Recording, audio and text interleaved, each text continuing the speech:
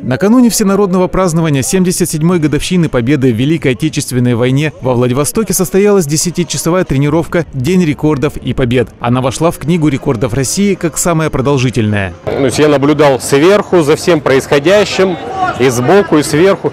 А, И могу сказать, что все было организовано с точки зрения организации очень качественно. Все ребята, видно было по глазам, что они очень остались довольны этим праздником, потому что, я думаю, запомнится этот день э, надолго в их жизни. Тем более увидели своих звезд, э, своих кумиров в своих областях спорта. Поэтому, конечно, очень впечатляющий рекорд. Э, Могу сказать, что вряд ли кто-то в ближайшее время его побьет.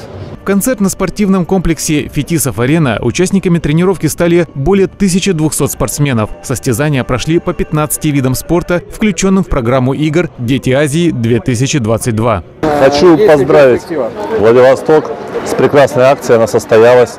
День рекордов побед. Э, Мы увидели полный зал детей. Это, наверное, то, что хочется видеть каждый день. Дети должны быть заняты. Либо это культура, либо это образование, либо это спорт. Поэтому сегодня была спортивная акция.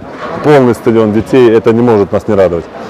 Хочу сказать, что дети были с горящими глазами, отдались целиком и полностью, хотят заниматься, любят спорт. Поэтому считаю, что Владивосток сейчас, наверное, одна из э, столиц массового спорта.